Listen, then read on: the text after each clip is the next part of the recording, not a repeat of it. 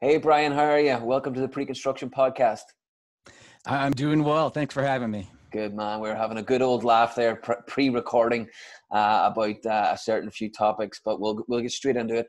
Just before we do, um, anybody that doesn't know you that has been not on LinkedIn for the last five years, which is why you've been all over it, which is great to see. Um, give us an idea of your background, what you do at the moment, and then we'll uh, we'll trace your career all the way back to to college. Yeah, uh, right now my official title is uh, VDC Design Office Lead, which is essentially a, a uh, BIM manager role within the St. Louis office of uh, Jacobs Engineering. Uh, Jacobs, for those that aren't familiar with it, is the world's largest combined architecture and engineering company. Uh, we have offices everywhere from Australia to the United States to several places in Europe. Um, and I get to talk to a lot of people in similar roles to me in those other offices as well. Uh, so it's unlike a lot of people that are in roles similar to mine where we tend to be isolated i have happen to be a little bit less isolated than a lot of us. So I, I, have people that i can reach out to and gripe on occasion if i need to in order to uh, uh, get that support so. very good. Do you, do you get a chance to, to visit australia or australasia I have not had a chance to do that yet.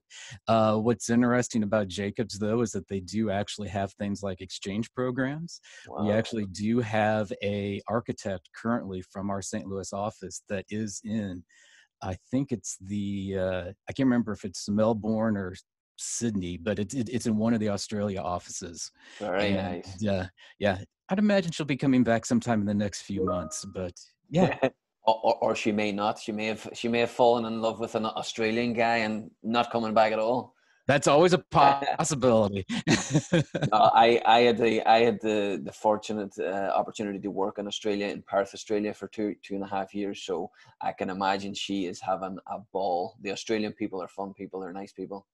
Uh, it, it, would have to be a lot of fun. I, am just in one of those life situations now where I have uh, three kids, so it's just not practical at the moment. But yeah, uh, yeah it, it, would it would be fun if the opportunity ever came around. I'm the same. My uh, my travel days are over. I've got a four year old and a two year old. Uh, isolation's fun, and I think that's the only fun that I have at the moment. I understand. Good. Well, listen, Brian. Let's let's go back to 1998. Um, architecture.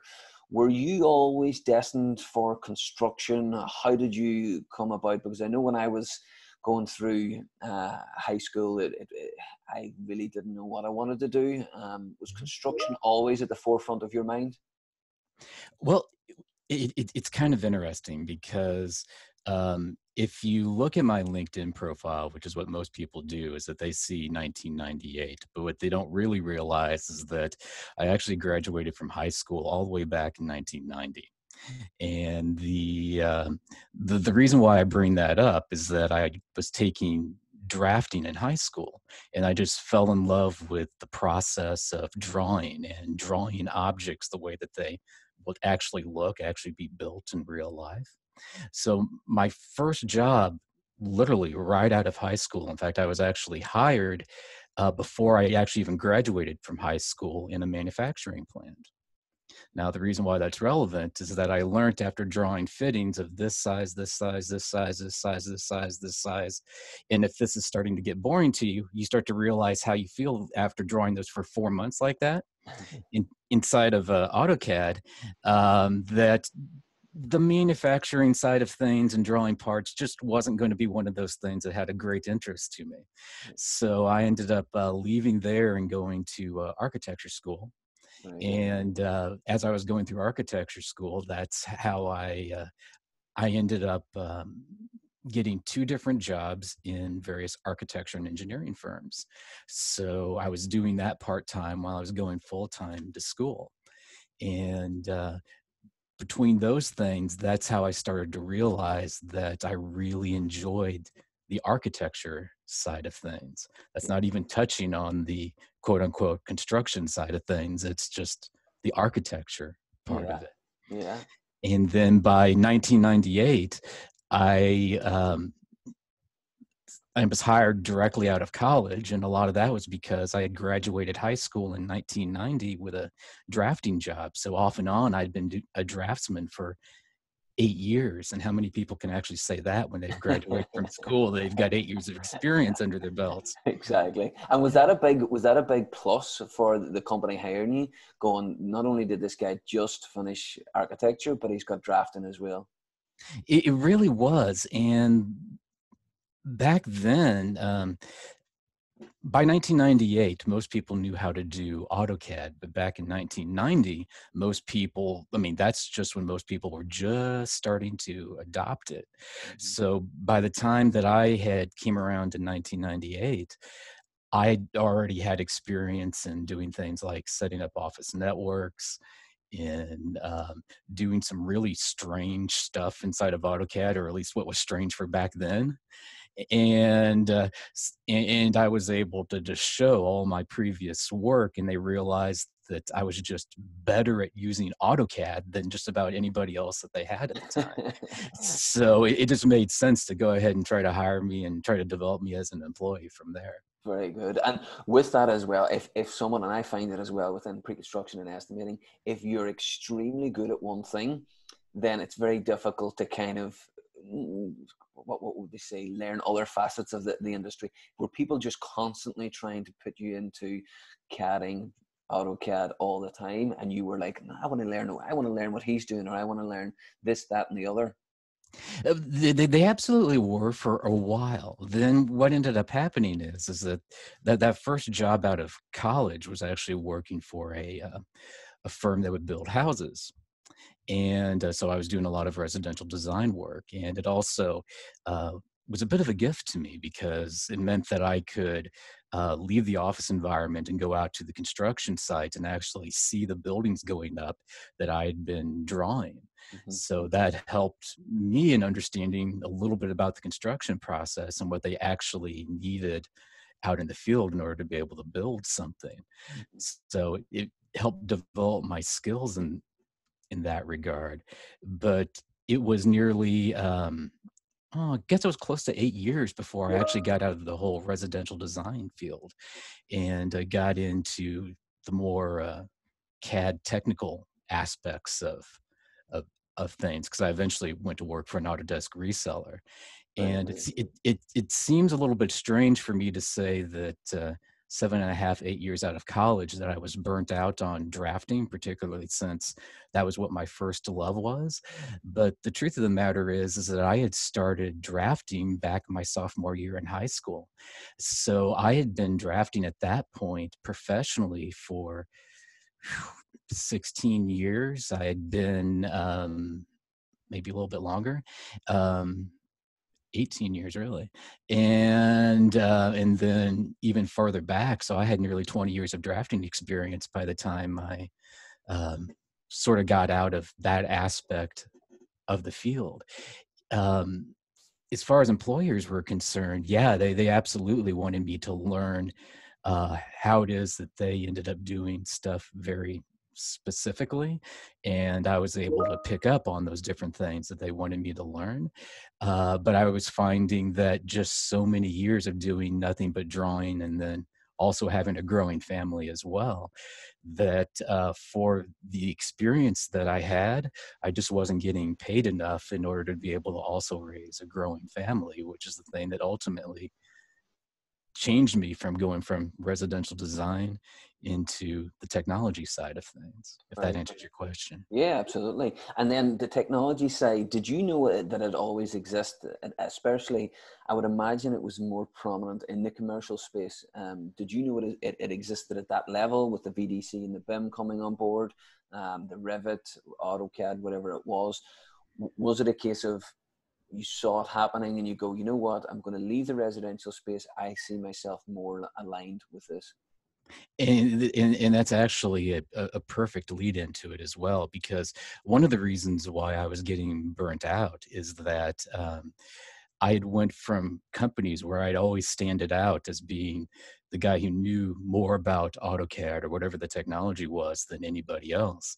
And I ended up going from one firm that really valued it to another firm that I stepped back two releases in the software, and then I went to another firm that's that basically maintained it, but they didn't have all the add-ins and that sort of thing. So I could just then see Revit and uh, other softwares that were you know coming up. AutoCAD architecture was big at the time.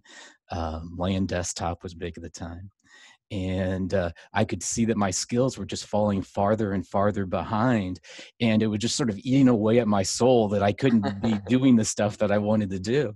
So that that ended up being a, a big part of the burnout. It, you know the, the same stuff that had energized me 15 years before I was still doing it instead of the stuff that was continuing to energize me, which was continuously learning the new technologies and the uh, best ways to implement them. Very good. And, and, anybody that hasn't saw your live videos should definitely tune into them. Um, whether you're a BIM VDC expert coordinator, um, someone learning the, the, the, the software or, or, new to the industry, you should definitely tune in. Brian goes through everything. It's one of the reasons that I started the pre-construction podcast. I believe, and, and I think you're the same, is the more that we share, the more that we can move forward as an industry and it can be brought on, whether it be in the architecture firm, the, the, the, the engineering firm, or actually the general contractor firm. Yeah, ab- absolutely. And uh, for the, for those that don't know my background, the uh, one of the ways that I was able to get into the technology side of things was that I actually started an Autodesk user group in town in order to be able to share my experiences. And it was, in, and our very first presenter was from the Autodesk reseller that eventually ended up hiring me. And that's one of the ways that we ended up meeting was through that. Very good. Great networking tip. The, the bigger your network, the more opportunities you will you will give yourself, um, whether that be to, to working with someone side to side or for whatever reason you move on in your career.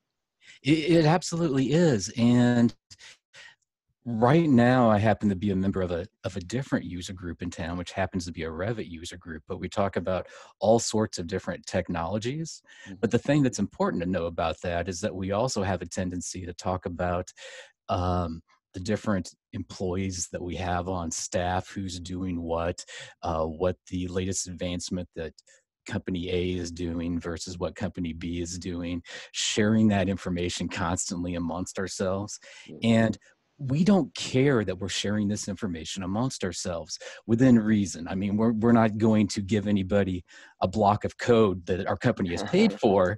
we'll force that person to actually develop it themselves.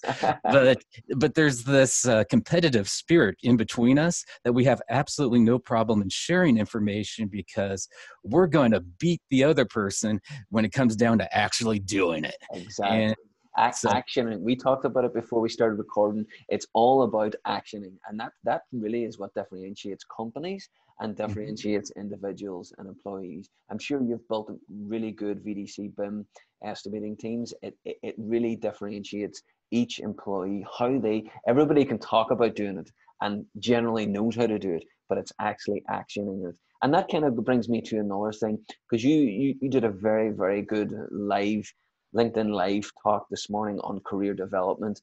Mm-hmm. You've now mentored, uh, been a part of big VDC teams. Um, what is it separates VDC coordinators or people coming on to the, the VDC spectrum? What do you think it is that they have that allows them to grow quicker within the, the industry? I, I think that the thing that on the VDC side of things, it's a constant striving for knowledge um, more than anything else. Um, if you're one of those people that always wants to learn more, that always wants to be involved in every aspect of the construction process, then you're going to get a lot farther than somebody who wants to just be a uh, niche player who only you know, spe- cares about one little aspect of it. And once you start to have that mindset of, I want to learn more, then what you'll find is that you continue to develop your skills and it's not work at that point. It's, you know, I'm really interested in learning how to do an estimate based off of a model, for example. So you will focus all of your effort on doing that at least as much as possible, and you'll continue to develop your skills up, develop your skills up, develop your skills up. Two years down the road, what you just consider every day, hey, I'm going to the office kind of work, suddenly sets you apart because you understand it better than 95% of the people around you. And why did you do that immediately? Well, it's not because you were necessarily assigned the task as much as it was just an interest that you had, and you just continued to explore deeper and deeper and deeper. And the most important thing to realize in that is that um, when, when, when it comes to that process, is that you can't be afraid to fail.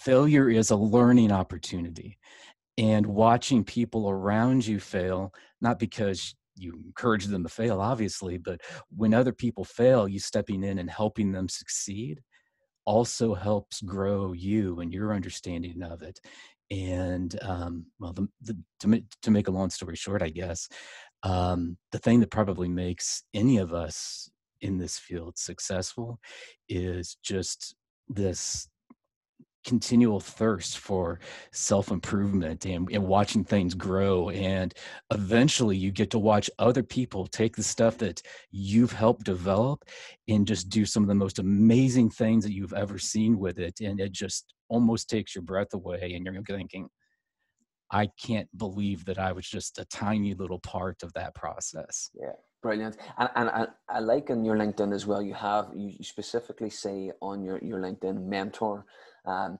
because we've all done it. We've all had it in our careers. We talked about it before we came on, on air. You've got to pivot at certain stages of your career where you think, and it mightn't always be the right way, uh, but you, you eventually find your way. But to have a mentor to be able to guide you or just literally nudge you in in the right direction, it's so important. It's something that did you have that during your career, or, or was that a, a kind of a path that you navigated yourself?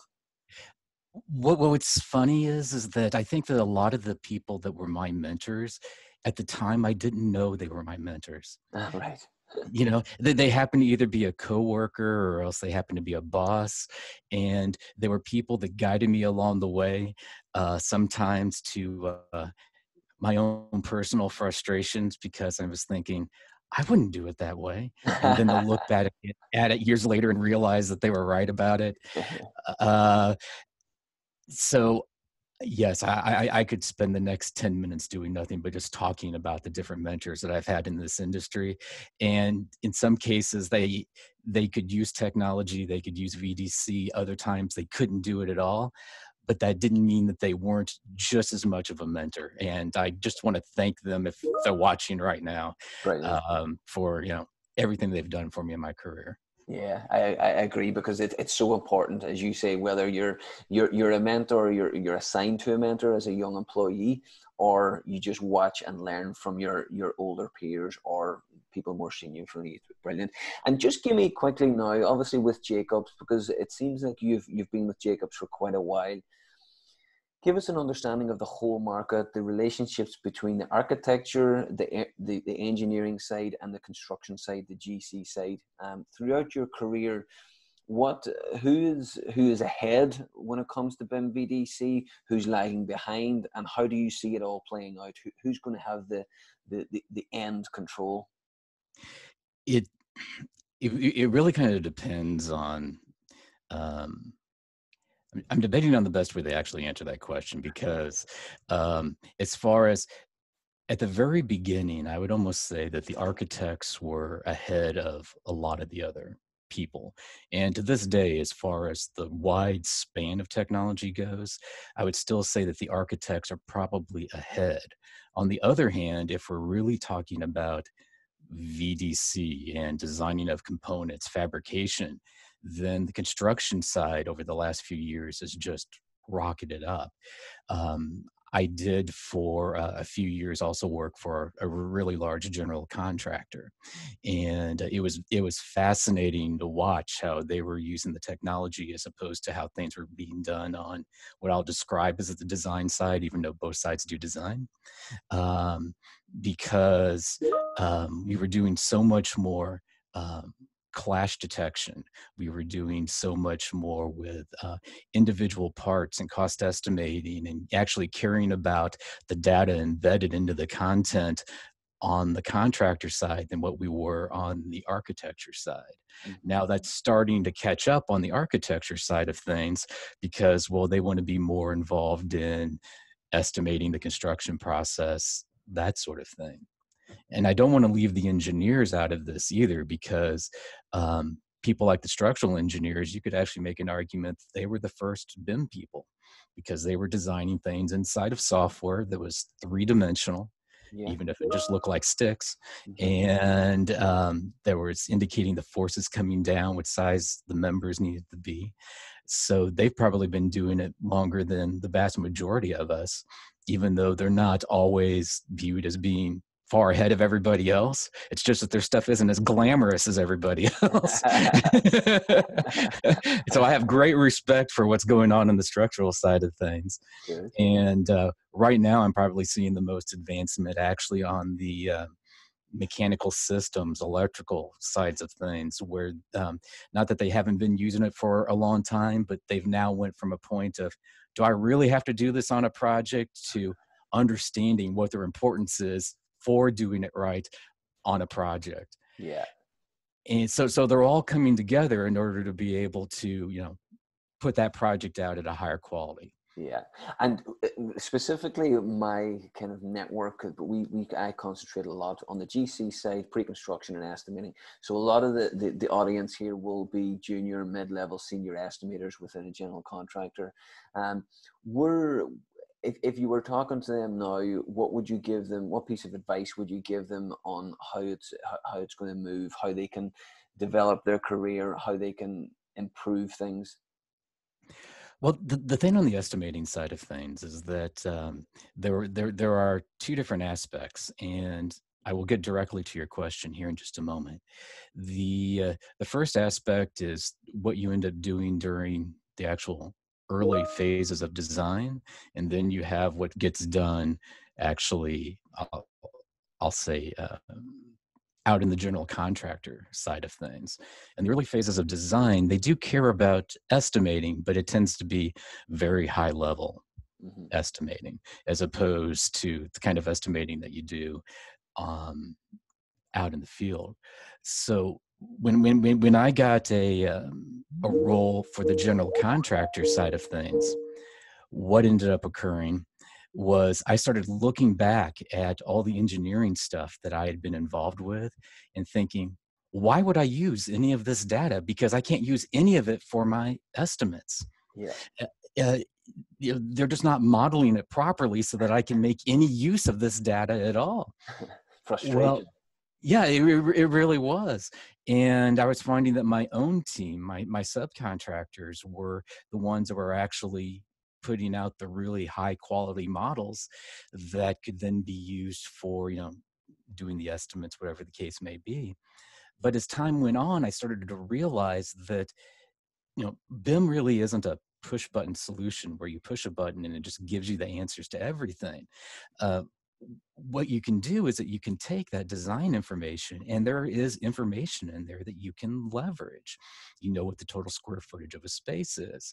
Uh, since you know what the total square footage of a space is and you know generally how the inside of that space is constructed that means that you can assign a dollar value to the size of that space and be able to at least on your initial estimates be able to uh, derive roughly how much the space is going to actually cost. Mm-hmm. Uh, you can start doing quantity takeoffs of certain kinds of items. Mm-hmm. So don't just sort of ignore what's coming from the design side and don't just take everything that comes from the design offices for gospel what you need to do is find that uh, perfect mix of what it is you can take from let's say the uh, the design side right now assuming that we're not talking about a situation where you know they're truly working together in harmony and uh, find what information you can take from there and find what information you can take from your subcontractors or even before that and really apply that uh, art and science of estimating based off of all the different information that you get in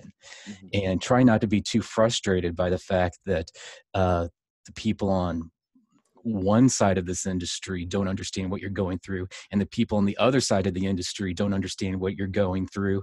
Instead actually have conversations with the people on both sides yeah. so that you get the information that you need so that you can do your job as efficiently as possible. And uh, because getting frustrated doesn't help anything. Instead or saying this company doesn't give us what we want that doesn't help anything if you haven't had the conversation with them to say you know we really need this. Can you help us with this? Yeah. And, and it, the chances are that they probably have that information and they can they, they just they didn't know that they had to share it or they didn't want to share it or they forgot yeah. to share it. Um, yeah i agree with you because you've you've got the the perfect uh, background and you've you've been and seen all you've been the architecture the designer the engineering side the gc side. Um, so uh, would you advise someone coming up to try uh, if if they got the opportunity to try each side of the fence I would advise somebody to go after the things that they're passionate about. Mm-hmm. Whether or not that's both sides of the fence, absolutely could be. In my case, it worked out wonderfully going on both sides of the fence. Uh, but but on the other hand, I know that some people that just don't have the personality to be able to sit in an office 24 7 and never get to see whatever it is that they've designed get built yeah. on the on the other hand i know people that uh, really have no interest in going out and maybe i shouldn't say no interest but much reduced interest in going out and seeing what's getting built and instead they're happy to be able to sit in their air conditioned cubicle on the phone half the day or filling in paperwork or whatever the case may be and if that's your passion go for it. Yeah. So there really isn't a correct answer. It really depends on you and your experiences and what it is that drives you as far as, you know, what the best answer to that question is. Yeah. Though though I will say that the more that you understand about what the other person does, uh, the more that you're going to be able to have those conversations and get the information from them that you need to and also convince them to give you the information that you need so that you can do your job more effectively. Yeah. So really you talked about it today in your in your live video. Having the soft skills or or maturing your soft skills throughout your career is vital to, to BIM VDC it, it, it's amazingly vital. And one of the things that you always need to know is that the individual that's in front of you even if they're in the same role as the person that sits right next to them, their motivations aren't always the same. Meaning that you could have a 60 year old um, estimator that knows that in five years from now he's getting ready to retire. Then you may have a 32 year old estimator who knows that for the next 30 years he's going to be in this profession, at least ideally. And their motivations are probably a little bit different it's not just because of age but it's but it but in part it's because uh, one person has been doing the same processes for 20 30 years. What message do you deliver to that person that's been doing the same process for 20 30 years that would make them buy into a slight change that would refine the process which will give them greater confidence in their estimate and make them you know have you know still content in doing their job. That message that you deliver is going to be much different to that person who's only been doing it for a few years who's aspiring to be that guy that's been around for 30 years. Um, so in one aspect, you may start to talk more about the technology and automation and um, how you're able to automatically generate these things. And then they start to get excited about it because they've grown up around the technology and automation. So you start to, with that individual, you start to build them up. They make them into your uh, champions, your super users, the people that are going to spread the good word but you also need to be able to deliver the message to the individuals that only have a few years left or maybe they've been working in the same company for seven years and now they're tied to their ways and they just don't want to improve at all. And how do you convince that individual to uh, to make that change? Yeah. It, it becomes those soft skills because what you need to do is you need to ask those open-ended questions to find out what it is that actually motivates them why it is that they're resistant and you have to ask those questions in such a way that it doesn't aggravate them so that they'll never answer your questions again. And uh, and then deliver the, this, deliver the message so that both of these individuals are both going to the same outcomes yeah very good. Yeah. No, I, I agree. Um, and just you touched on it briefly there about the technologies. What are the, the, the most innovative technologies that you see co- currently? Um, what, what gets you up in the morning? What gets you excited about the way the market's going? Um, because there are a few at the moment that are that are kind of trying to disrupt or revolutionize the, the, the BIM VDC or the technology side of things. What do you see as the most exciting ones? It, it, it's it's a great question, and uh, right now I, I, would have a hard time pinpointing and saying that I think that this is the best thing. Period, and meaning like a very specific technology. Yeah. Uh, on the other th- side of the fence, though, I, I think that uh, one of the things that's coming up that's going to just revolutionize the way that we do things is going to be um, artificial intelligence mm-hmm. and the way that it's going to help us with our decision making on the estimating side of things, what it's going to be able to do is that right now we ha- tend to be in a state where we're inputting data in the software programs for our estimates. Mm-hmm. And uh, it could be for a specific type of building, it could be for a specific part of the country, whatever the case may be. Well, we can start to track we were doing these purchases at this time of the year. This is what the weather conditions were at this time of the year. Um, these were the you know it was this type of structure. It was very similar to what this this other client was doing, or maybe we're doing five facilities for the same client, and each one of these facilities is very similar. Well, what the artificial intelligence is going to eventually be able to do is begin to actually parse through that data then you'll be able to have things like Microsoft BI and the business intelligence graphs to actually show you nice, pretty pictures of all that information. And you'll be able to make uh, better educated guesses based off of um, the information that you're seeing on the screen, based off of, um, you know, all this information that you've been putting into your software programs for the last few years and then with that data in front of you you will then no longer be making you know taking days sorting through data spreadsheets trying to figure out okay what do i need to worry about? What did i do on this project seven years ago? You'll be able to just push a few buttons see some graphs and have a better understanding of a what you did seven years ago and b how that is impacted now by the increased cost uh, the different conditions that are available now and the artificial intelligence is going to be the thing that ends up helping sort that data so that you can make better use of it yeah and will that will that data with artificial intelligence will they be running off the models to, to be able to do that or or or will the data be pu- pushed back into the models well, the, one of the things that a lot of people get uh, mistaken about is that it's is that BIM is about models, and BIM isn't about models. BIM is almost always about information. Mm-hmm. And the information could be the way something looks, which is the reason why you can do pretty renderings. But inf- but but information could just be something that you've put into a database. Yeah. Uh, an example of that is right now within our own office, we are implementing uh, dRofus. And dRofus is software that allows our interior designers to be able to generate their uh, room data sheets off of. So they're literally just inputting information into a database, and then that database information can then get pushed into Revit, the design software, and populate, let's say, the center of that room with all the furniture, all the equipment that needs to be there. Then all they have to do is just move it to the right spots. Yeah. And they're done. Or vice versa. They can do the design and then they can push it into the dRofus software, and then there it is inside of the database one group of individuals decided to do it visually by placing it inside of a model. Another person decided, you know, I don't like working inside of a model. I'm just going to input it inside of a database. Yeah. But they're both sharing the same information. Right, very good. Yeah. So, so, so it all comes together, it, and it, it comes together in a way that works best for their workflows. Yeah, of course, and you'll see that obviously architecture, engineering, and the, the GC side of it.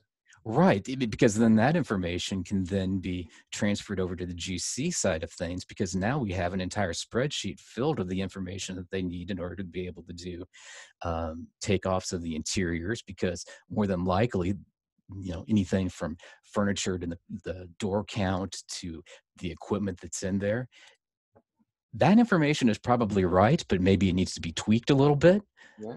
but but that's fine because they now have it in this gigantic database. They know that it matches up with the stuff that happened on the design side of things. So now they can take that information, tweak it with exact manufacturer information, that sort of stuff, and continuously add to that database in order to uh, derive the information that they need out of it.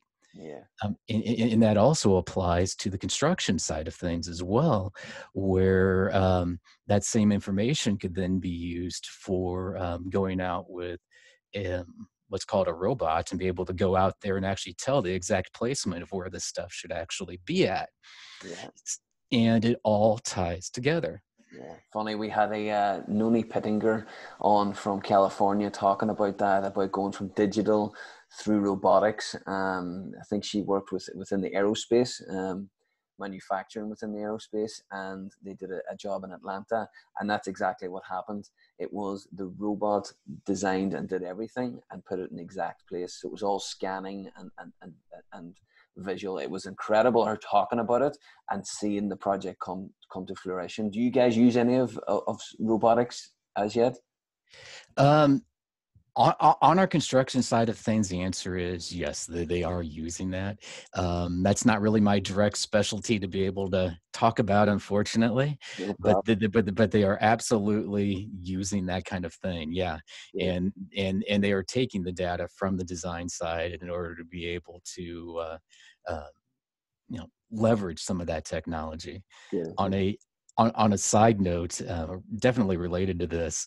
Um, at uh, Autodesk University this year, which is for those of you that don't know, it's a big industry conference of. Uh, it tends to be Autodesk software, but it's people from all over the industry. And uh, they they had um, this little robot called Spot that was walking around the entire conference.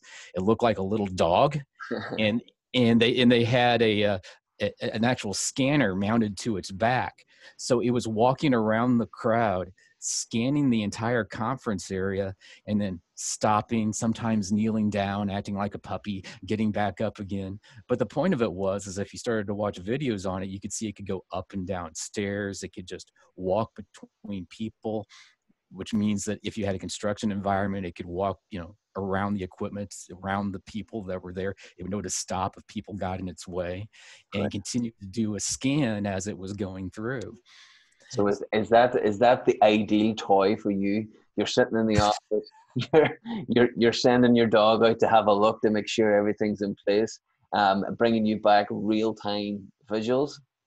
Well, you, what what's interesting about that is let's think about it in a non-office environment situation where, let's say that we're scanning a mine or some sort of shaft. Yeah. Um, it, it's areas that may not be safe for human beings to go into. It could be a building that had a fire, and you're not 100% sure if you can go in there in order to get the information. You could actually send that bot in there in order to scan the area, take photos, bring that data back out again, and then you can use it for your you know, design and construction applications downstream. Brilliant. Love it. Love it. And Autodesk is good. Uh, would you recommend that particular conference um, or is there any other conferences that you would recommend people attend? Well, I, w- I would definitely uh, recommend uh, Autodesk University, if for nothing else, than the fact that it's the uh, probably the leading software company out there for the, these kinds of softwares, yeah. Um, and that's across industries.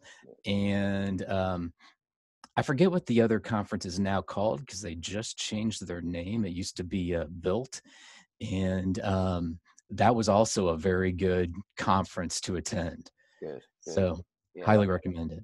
Good. And then well, one question I always like asking people: What is the most fascinating, interesting, beautiful projects that you ever worked on, uh, or even even uh, it can be a small, complex one that you were you you were it was really rewarding. Um, is there any that stand out throughout your career? Yeah, I'm going to say that there's three, and the very first one is going to be a complete shock, and uh, that happened to be a maximum security prison. Because you have absolutely no idea what goes into a maximum security prison until you happen to be on a project team that has to design one of those things. yeah, I won't go into all the details here, but trust me, there's a lot inside of a maximum security prison. Very good the uh, the the other two things that are probably closer to my heart is that um, the last project I did at my previous job, uh, the general contractor, uh, we did a hospital project, a very large hospital project, and it was wonderful to see the process of design from um, literally nothing being on the site to watching the steel go up and, and that sort of thing. Uh, part of my process was actually figuring out where the uh, crane placement, because we had two large cranes, yeah. and putting that inside of the software and showing how the, the the radiuses of the cranes actually were and whether or not they could reach certain spots inside of there but but to know that this is a hospital and to have had the opportunity to do some of the initial uh, clash detections, that sort of things inside of the hospital and coordinate the various trades, it's, it was just a beautiful project. And then the final thing is um, right out of school, I was designing homes. And I did have the opportunity on that first job to go out to the site after several of the homes had already been done and people had started to move in. Yeah. And to watch the reaction of somebody who was now living in one of those homes to actually meet the designer of that house, that was just a absolutely priceless reaction. And to this day, I have no idea what her name was. I can still see her face and the reaction that she had when she realized she was looking at the designer of the place that she'd been living in for the last few months. It was brilliant, and, and I would Im- I would imagine that conversation's fantastic as well because she's trying. She would pick your brain on why did you do that. I really like that, uh, uh, that whether it's practical or visual. I really like what you did there. And, and that's exactly right. And people always have a tendency to overlook the little things. Residential is a, is a great example of that because people always tend to forget when they draw out their own floor plans that uh, they need some place to put their towels. So they half the time forget that there should be a linen closet somewhere. Now, the thing that that she was excited about was things like the living area and all the materials that had been picked out for the living area and that sort of thing. And I completely appreciated that but in the very back of my mind, I'm thinking, I bet you really liked that linen closet that was put there. it's just those little design considerations that people don't always think about, but uh, it just adds to the, the whole experience. Yeah. And do you get that? Do you still get that? Because I think it's pretty obvious from this chat and your background. You're very creative. Um, do you still get that that that ability to be creative? When you're in an engineering firm, a GC, an architecture firm? There's always opportunities to be creative. The uh, I, I, think too often people have a tendency to uh, allow themselves to get stagnant yeah. and just do the same things over and over. But if you take the time to actually look at processes and look at ways that things could be improved, and then actually try to use new techniques, even if they fail, just try to do different things. Um, it it ends up give it's it's a very rewarding thing. It's much like if you decided to take on a project at your house and you were building crafts and you have this nice little craft whatever it is you've you've built and you take pride in it you, you display it yeah that basket of flowers means nothing to anybody but you but you take great pride in it. For me, I, I, look at the way that I'm adapting technology or changing the way that somebody is now looking at a software program and going from I'm very resistant of it to, you know what, I can't live without it. Even though I get very little credit for it, other than the initial, yeah, he's the one that helped with it, to see that person using it it's just a rush every single time because you realize that you've just made their career their lives just a little bit better just like working with that you know just like the lady in the house. You know that you've done little things that have made their lives just a little bit better even if they didn't always realize it or give you full credit for it. So it can be very rewarding. Yeah yeah satisfying. And and if, if you were to go back uh, or even give your your 25 26 year old self some advice um, what would it be? Uh, study the business more. Um, interestingly enough uh, my 20 something year old self was very um, much into the technology was very much into um, creating things. And uh, even though I knew that the business was important, and in the back of my mind, I knew that economics was important, that sort of thing, I always had kind of a hard time understanding how it all tied together. Uh, what one of my favorite things that's happened recently was that somebody came up to me and said, you know, I keep trying to get this adopted inside of my firm, but every time I do that, their eyes just glaze over every time I talk about this technology. And I said, tell me, how did you go about doing it? And the answer is, well, I showed them and showed them just how neat this actually is. I go, did you use the word this technology is neat? Uh, something like that. No, no, no. Don't don't don't do that. No, no, no, no. Uh, you need to come at it with the the argument of okay, this is why in your career for the business, why it is that it makes sense, how it helps the client, how it is that it helps you. These are all things that my myself 20 25 years ago somewhere in the back of my mind I knew was important, but I had absolutely no idea how this tied into the big picture at all. Mm. I would love to sit that person down for nothing but three days and give them just a knowledge dump of everything that I know today about that, uh, because it would have made a complete difference in my career and the way that things ended up going. Yeah. Because I mean, we, we work with general contractors mainly, and within pre-construction and VDC BIM coordinators, BIM managers, and that is one of the biggest things that people have a, an issue with is whether you like it or not, it's internal selling.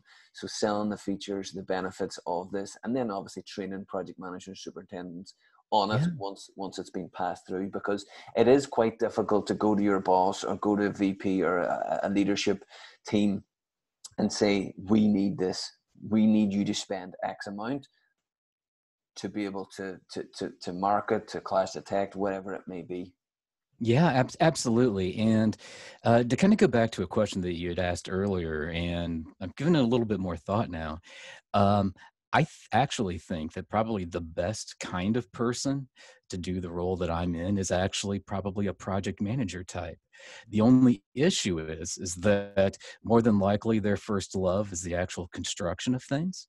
So being out there is such a major part that maybe they don't necessarily want to move into an environment where they're not getting to be out there quite as often. Yeah. That being said though, managing people managing the way that a project goes together, looking for ways in order to save money, looking for efficiency gains, understanding the way that a building goes together. Mm-hmm. That's my job. Yeah. I actually almost consider myself more of a project manager than I do a VDC, BIM, whatever title you want to give me kind of guy. And um, I actually think that anybody who's trained on the project management side of things, other than the fact that they have to have a natural curiosity, love, that sort of thing, I think that those both those actually uh, there's a lot of soft skills in there but both soft and hard skills that you learn from the project manager side of things is actually in many ways the perfect way to transition into this career because i mean learning how to solve a technology problem i can do that in hours yeah. I'm an expert at Google searches. but uh, in order to do all the other things, that can take just years to develop those yeah, skills. Yeah, yeah. That's exactly right. And listen, we get clients all the time saying, listen, do not bring me an estimator or a VDC coordinator that has not worked on site as a field engineer, project engineer, APM, superintendent once they, as you say, they know, and, and listen, other companies are incredible. They bring them in there as junior estimators. They sit them in the junior estimator for a year, a year and a half. They get them on a, a decent sized big project. They get them to estimate it, and then they put them on site to deliver it. So that gives you the cradle to grave experience of what it takes to build a 40, 50 million dollar project. And that's that's vital. It absolutely is. And I was lucky enough to be at the GC to actually watch people that came in around the same time I did get developed using that exact same way that you were just describing. And it's amazing to watch the transformation from when they come in green to they're actually controlling aspects of their project. It's just, it's wonderful to see them grow the way that they do. Yeah, and as you say, the satisfaction's there as well. I mean, I'm sure there's loads of projects that you've you've kind of drove past or walked past or saw a picture of and go, listen, I had a huge part to play in that project. Um, to be able to say that you estimated it and project managed, delivered it, I mean, there's there's no better feeling, I'm sure. Oh no, there there absolutely isn't, and I, have always said that uh, if you get the opportunity to show it to your kids or one of these days your grandkids and say, "Hey, I was a part of this project," hopefully that's something that they actually remember about you you know when it's all said and done you know because uh, you know that, that was a little bit of you in there somewhere yeah. and it's still and it's still standing. Yeah that's right and it's still standing yeah. For some reason they decided not to tear that down that's right. Very good. So i, I like uh, again career development's an important thing and i think important thing for anybody whether you're operations side pre-construction side technology side you mentioned, is there any uh, like, courses that you would recommend? Obviously, courses specific to VDC, but books that you think they should read, podcasts they should listen to. How should they upskill them themselves? Because even right now, during COVID 19, it's a perfect opportunity to take on a course for how many hours a week uh, and really come back a better, stronger pre construction operations VDC person what, what, what's interesting about that is that I, I don't really have a i feel much about this much like i do about computers with a computer nowadays i really don't have too many um, people ask me what computer should i buy well i usually end up saying well how much can you afford. And um, because all the computers today, they pretty much have the same parts in them from the same companies. It's just different manufacturers that have put them together. It's just a matter of finding the right system for you. Yeah. Then I actually look at education the same way. Is that right now there are so many sources, uh, whether it be something like uh, LinkedIn Learning, which I'm involved with, or just getting on YouTube or uh, picking up a book, whatever the case may be. It's what you get out of it that ends up being important. And now, so much of this stuff is so inexpensive mm-hmm. that that you can just do a quick search and you can find dozens and dozens and dozens of different things. You can usually skim through it, fast forward through videos, whatever the case may be. And and get a background on what it is that you care about.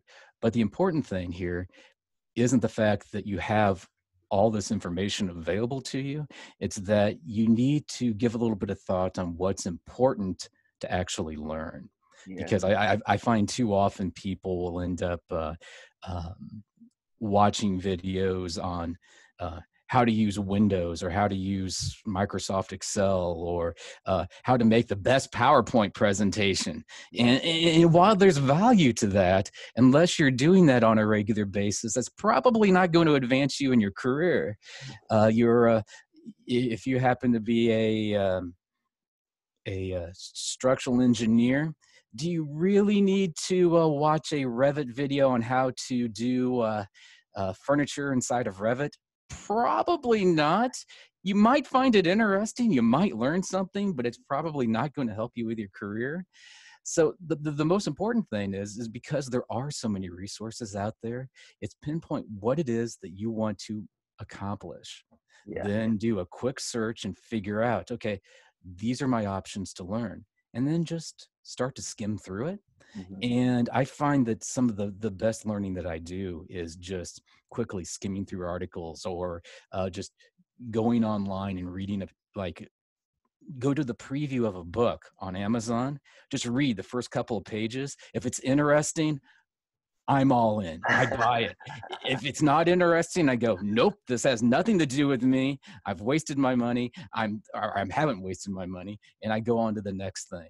Yeah. So that's sort of the long answer of saying that uh, the most important thing isn't necessarily me giving you a specific website or a specific yeah. book or it's it's a it's a matter of what is it that resonates with you and what you find important and you need to be able to define that and once you do finding thousands of pages of information on that topic yeah. is just incredibly easy to do yeah there's so much out there uh, so much good stuff um, and it's as you say it's it's it's free most of it's free um, very very few things now you actually have to pay for yeah, and that's actually one of the reasons why. And I'm not just saying that because I do videos for LinkedIn Learning.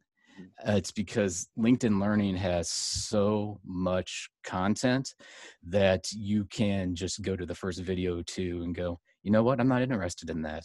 And then you go on to the next video two and go, I'm not interested in that. And that that applies to no matter what it is that you're interested in doing you know whether it's uh, estimating structural design whatever the case may be you just find something that you know applies to you and then sit down and just go through all that information. And i think that even when you're studying or even before you're studying it's a great way of actually understanding what you like to do because yeah. none of it was available when i was at school. Well there probably was but uh, uh, it was probably wasn't as easily accessible. And it took until so I did a four year degree, but one of the year was on site, or uh, three years, three years practical, and one once on site working. I, mm-hmm. I, realized it took me to the fourth year to realize that this just wasn't what I wanted to do. Yeah. If you can do that before you get into a degree, then it's it's all the better. Well, that that's absolutely right, and the I've actually found the two best ways to learn aren't the ways that I've actually mentioned. The first way is to actually do it. Yeah. Yeah. Just just trial, do it. Trial and error. Yeah, absolutely. Yeah, yeah exactly. And the, the the other thing is well, there's doing it on a project, mm-hmm. and then the the the other way to actually do it is trial and error. Just practice it. Try it. If you can't make it work, then look up the answer to how you do it, and then make it work. Um, I happen to be old enough. I've already said that I graduated high school in 1990, so I can say that I'm 47. And uh, back then, the internet didn't exist. I couldn't just Google search something.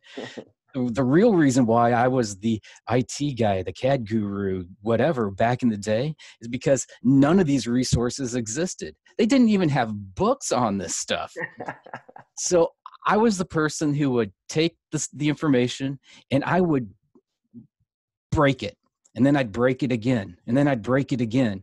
About the seventh time I broke it, I, I, would eventually, on that eighth time, I would find the answer to it. Yeah. And and then people would start coming to me by the time they got the uh, the uh, the actual uh, I'll use the word guts, the actual guts to actually try to do that, and they broke it. They'd come over and say, "I don't know what I've done," and the answer was, "Oh, I can help you with that." And I was immediately the guru. No, I, I'm the I, I, am the idiot that broke it seven times, but, but but that's because as a society now we're very very good at skimming. You mentioned that like we skim yeah. things, we don't actually get into the nuts and bolts of it and learn it properly, or as you say, break it and then try and fix it again. I mean, when was the last time we took a phone apart or we took a computer apart to understand what's in, inside it? Um, and the people that do that, as you say, whether it's down a rabbit hole, you, you just keep going until you get a yes or a no, and a definitive, a definitive no or a definitive yes. That, that that's exactly right. Yeah. So so whenever I'm I'm going to a website or whether or not I'm looking at videos, whatever the case may be, honestly, I'm looking at those for well, maybe a, a uh, idea to a very specific solution, but more importantly, what I'm really doing is is I'm I'm looking at what its capabilities are, so that when it comes time for me to need something along these lines, I have seven different ways I can break it before I figure out what that eighth solution is in order to, you know, really make it sing. Because I'll, I'll tell you, and, and this is the probably the, the best piece of advice that I can give is that virtually anybody who looks like that they are just a miracle worker inside of any kind of software program or doing any sort of process they've had their boss yell at them at some point. They have had uh, they have messed that up so up so bad. They've done an estimate and they've totally screwed that estimate up. Somebody has stood over their shoulder and told them correct methods about how to actually go about doing it. And how did they learn? It's because they made the mistake that's the best way to go about learning you you can you can learn from videos from books you know this is the general process that you should be following I don't care how many times you do it, you're still going to make the mistakes. And it's the process of having to fix those mistakes that is the best learning experience that you can have. Yeah, yeah. It's most satisfying as well. It's, it's oh, it absolutely is. Nothing worse. So here's a question, Brian Myers. Brian Myers, the teacher, the mentor, the LinkedIn learning guru, the BIM VDC, the full time job, job, the, the, the, the family man. What, what do you do to get away from it all? What do you do to relax and switch off? or do, do, you, do you even find time to do that and sleep at the same time, or how does it work? What's it, the magic? You know, it, it, it, it's a combination of different things. Um, right now, my uh, complete switch off is if I'm I'll either go for a walk out in the woods or else I will uh, get in my convertible and drive around in my convertible and just let the wind blow. Uh, the uh, on, on the other hand, though, if if you ask my family, you know, because those are things that I'm usually doing outside on by my by myself, uh, they'll see me in front of a computer and I'm either breaking things or else I'm learning things or else I'm recording the instructional videos or basically I have such a variety of different things all industry related, but it's such a variety of industry things that I'm involved in that it seems like I'm always just plugged into the industry in one way or another, unless I'm outside just enjoying the weather. So. Very good. So talk to me about industry. So that the convertible is that like aerodynamics, or how does that how does that industry? so what's what's the convertible of choice uh, at the moment, Brian? well, uh, right right now I have a, a uh, Fiat uh, 124 Spider, and nice. uh, it's uh, not the fastest vehicle on earth, but it's got a bit of acceleration and it's got some beautiful handling. So I just uh, drop the top and just go wherever it is that I want to go. So uh, yeah, I, I, can't tie that back to design at all. I just very good. Well, listen, this has been wonderful. I have to say thank you very much because I think the the VDC coordinators, the BIM coordinators on here will get so much value out of this, uh, and also the estimating and pre-construction um, audience that we have. So uh, I want to say thank you for that. I, I, do appreciate it. And, and probably the, the last thing that I want to mention is that I highly encourage that if you are on the construction side of things, to talk to the people on the design side of things. And if you're on the design side of things, talk to the people on the construction side of things because you're all in this together. You're not combative or anything like that. And the more that you exchange knowledge, the more that you work together, the more you're going to realize that you're actually a lot more alike than what you think, and you can get better together. Absolutely. And I think, to be honest, with this COVID 19 isolating, I think people are getting better at communicating, believe it or not. Um, I don't know whether it's uh, the, the environment that they're in, but I definitely see people getting better at coming back to me and, and, and, and organizing things. So let's hope that continues between the, the architecture, the design, the engineering, and the construction side. It, I'll, I'll, say this it's an awful lot easier to get people into meetings today. thank you very much, Brian. Uh, thank you. I appreciate it.